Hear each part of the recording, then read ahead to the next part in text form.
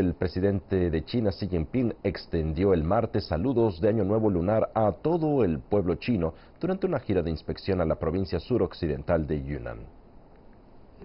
El presidente Xi Jinping deseó a los chinos de todos los grupos étnicos una mejor vida y al país una mayor prosperidad. El mandatario realizó una gira de inspección de tres días a la provincia suroccidental de Yunnan.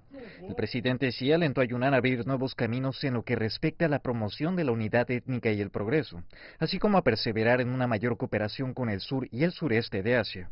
De igual manera, el líder chino destacó la necesidad de promover un desarrollo de alta calidad, al tiempo que se consolidan los progresos de China en la erradicación de la pobreza. Y durante una visita al humedal del lago Dianche, el presidente chino enfatizó la necesidad de abandonar la vieja tendencia de desarrollar la economía a costa del medio ambiente. CGTN en español.